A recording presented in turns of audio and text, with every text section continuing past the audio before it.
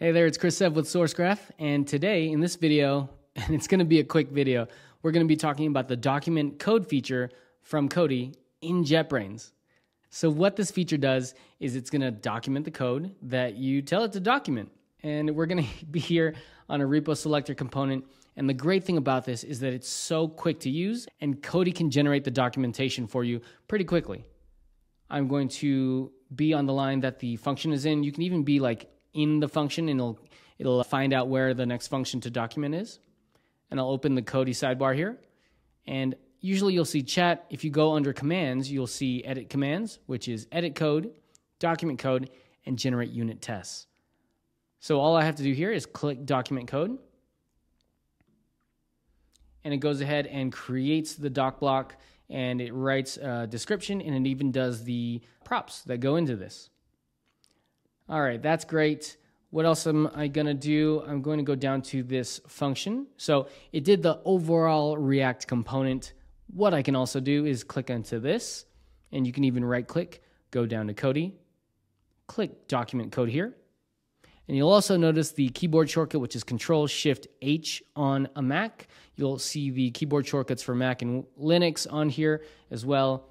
I'm going to Control Shift H right there, and it'll document code and I'll click accept. That looks pretty good.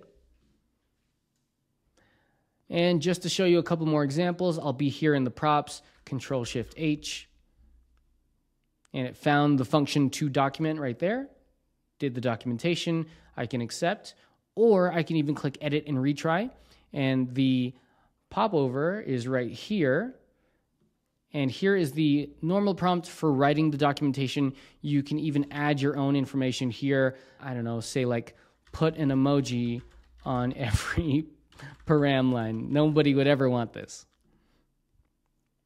Okay, so it did it and it just made random emojis. Actually, the not random, they kind of fit with the with the prop name. That's fun. Okay, so I'll click accept there and that's the document code feature in Cody and I'm using JetBrains. I'm using WebStorm actually.